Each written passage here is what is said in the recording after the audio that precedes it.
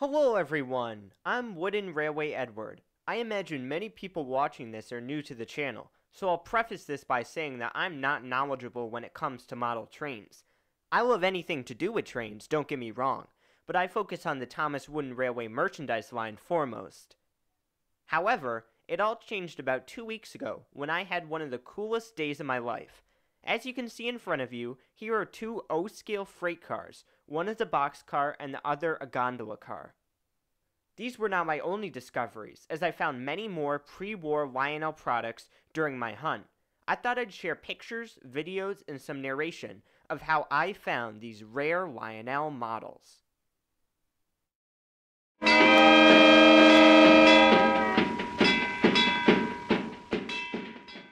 The Lionel Corporation was founded in 1900 in New York State. It's most well known for producing electric train sets and accessories for a miniature railroad. Although the original Lionel Corporation was sold in 1969 and was completely dissolved in 1993, the Lionel brand is still around today, and they release a healthy range of new model trains every year.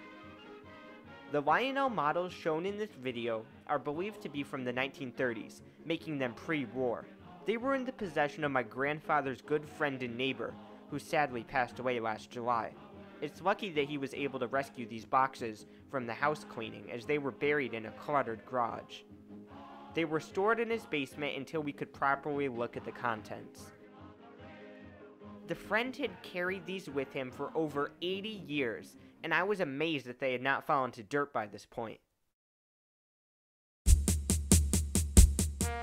Here are the boxes after being carried out of the basement. Two of the boxes were completely filled with tracks, while others held various other pieces. The first thing that piqued my interest was this vintage catalog. The subtitle Golden Anniversary Year suggests that it is from 1950. This makes sense, as several of the custom rolling stock items are also marked as from that decade. I took several videos of the catalog, and I'll be interested to study the small details later.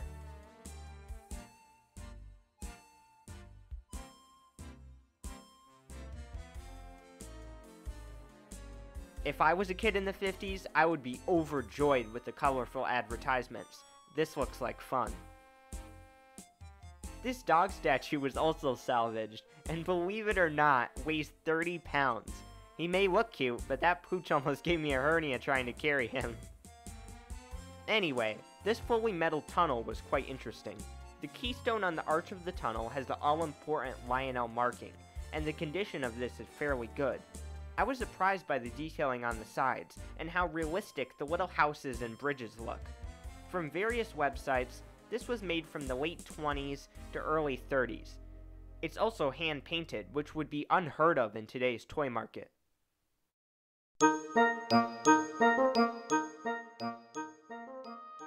Next was a peculiar 040 locomotive, which was very dusty. I took videos and pictures both inside and outside, and here you can see the wheels are labeled Lionel Corporation New York. This leads me to believe that it is not a reproduction model from the 80s and is the real thing, dating from around 1927 to 1932. Or it could be a little bit later. This particular loco was sold with various different sets, so I'm not sure if mine was paired with the rolling stock or coaches we'll look at soon. It is missing a light bulb on one end, but it still has its cow catcher and couplings. The wiring is still connected to the chassis, but I doubt that it runs. This olive green cattle car was also pulled out next, and is in very good condition. It has an orange roof, along with fitted handbrakes and doors that slide open. What a cool feature. I was so happy when I found this, it was really a surprise. You know, nowadays they have features like this, but back then they didn't have the huge Asian factories that mass produce this stuff. This was all done by hand, uh, with the help of simple machines, so it was really interesting to find this. This was produced over a larger amount of time. I have to say, they look great together.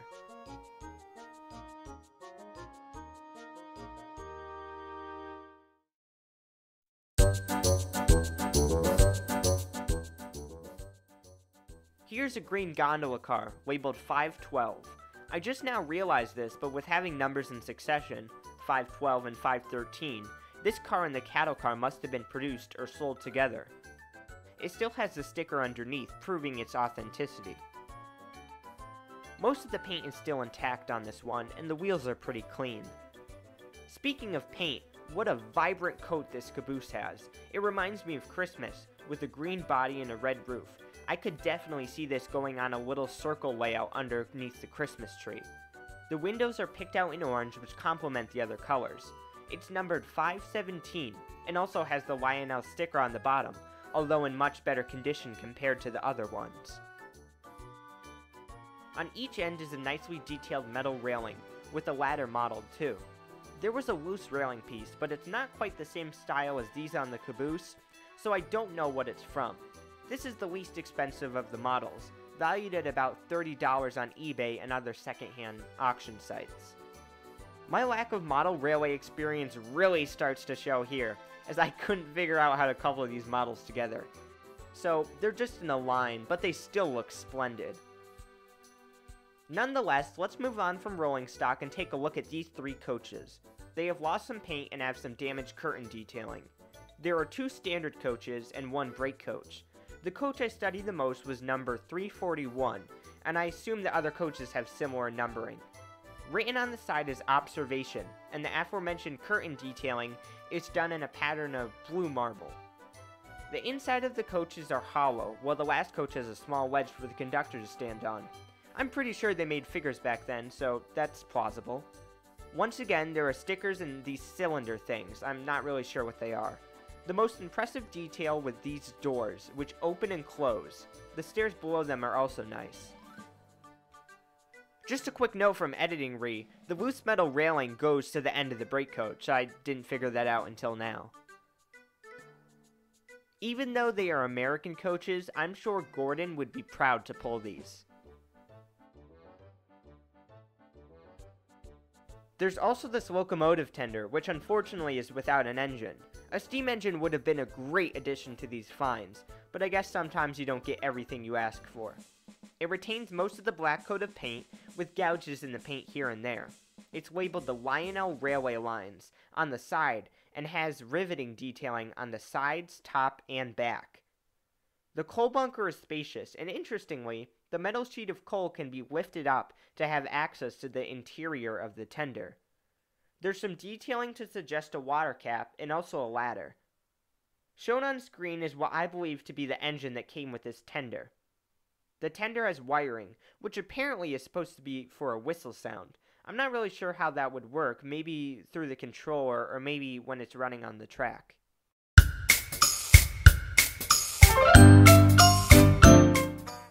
My ability to research ends here as we come to a mammoth engine. Honestly, I have no idea what it is. I may very well be wrong, but I believe this is a custom job, with its body being made of wood and its accessories being crudely constructed. Through limited research, I was able to find some discussion of wooden kit-built freight cars, but nothing relating to a Frankenstein engine like this. I guess it would be a 444 with the middle wheels having side rods. Looking online, this is the only 444 I could find. And one, that's a British engine.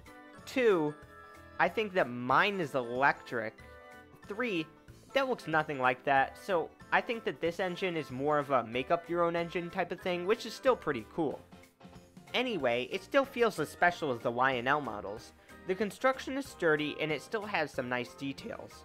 The top of the engine has a pantograph, which can weakly bounce up and down, though I didn't put too much strain on it. Each side has a light bulb held down with a metal bracket, and also these Christmas lights. There is a large platform on one end, with railings, a cow catcher, and little chains above the wheels, which is actually a pretty premium feature. One of the platforms has fallen off, but it's still in good condition and probably could be glued back on. The little bell on the top is able to rock back and forth, including the doors which can open and close. There are several windows which have yellow frames.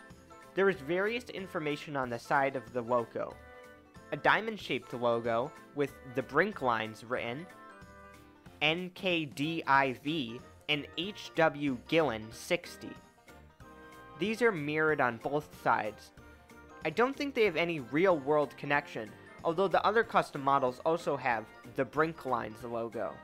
At the bottom of the engine, there are pencil markings of the planning stage, which I found really cool. One set of wheels was bent out of place, but I was able to put it back into place. Overall, this is the largest and most intriguing engine we found. Here is a custom hopper car, which is also constructed out of wood. It is painted black with similar detailing on the side. Here's the familiar The Brink lines, and also the circular logo, Old Company's Lehigh. This is actually a real world thing. Here's a metal sign I found on eBay. On the underside, the hatches are screwed in with hinges, allowing the doors to open and close.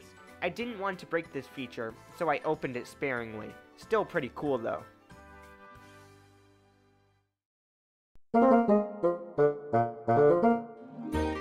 There are two other custom freight cars, both flatbeds. The red one is missing one set of wheels, although they still have the painted on detailing of numbers. There are two other custom freight cars, but I'll save those for the end. Here's a three-part Lionel bridge, which has the Lionel logo engraved on each side.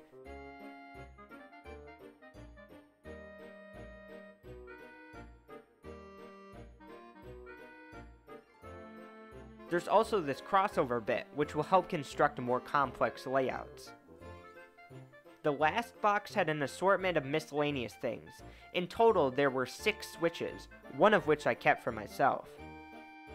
There were also tons of curved and straight tracks, which I stacked in this recycling bin.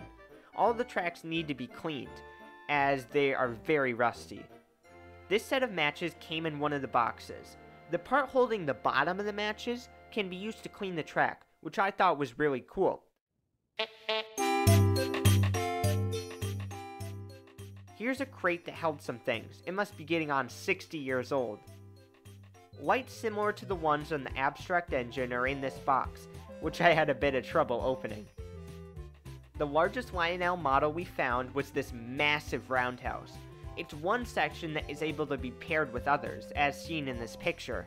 It's in a sorry state as all the paint has been worn off and is completely rusted. However, there are still details to be appreciated, and I think it looks splendid housing the 040. As you can see, there's the white detailing at the top, opening and closing doors, nice windows. Overall, it's still a really nice find. At the bottom of the boxes, there were these small railway sweepers, and boy, were there a lot of them. There are also some other miscellaneous metal pieces. Lastly, were these two controllers, one from American Flyer, a rival brand, and a race car controller, which had some severe rusting. It's crazy to see how fragile the cables were back in the day. If uh, some type of rodent came and chewed through this in one bite, you'd be up the creek. Before I sorted everything on the table, I made a small mock layout in the driveway. Here's a short video and some pictures of how it turned out.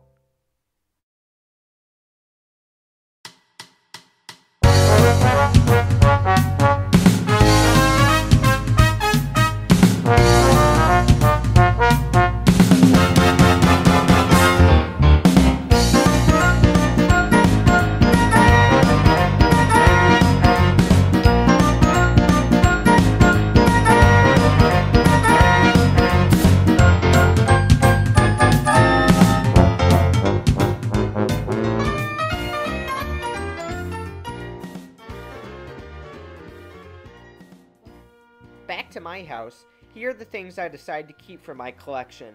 This was the most complete switch, and I found the light that's fitted to it. A small string was attached to it, which was used to change the direction from a distance. What a clever solution. And the switch still works too, although the light up feature does not. Luckily, the small Lionel plaque is still intact. Here's a modified piece of track with the Lionel rails and wooden sweepers. It was the only one I found, so I decided to keep it. This box, similar to the light bulb one, contains small accessories, this time little flags. They are insanely cool. I may even use them for my TWR videos. Now we come to the last two custom freight cars. The boxcar was falling to pieces when I first pulled it out of the box, but my hope is to restore it to its former glory. The gondola car is in better condition, but I think it's due for a new coat of paint. They have the familiar The Brink Lines logo, and some other written details.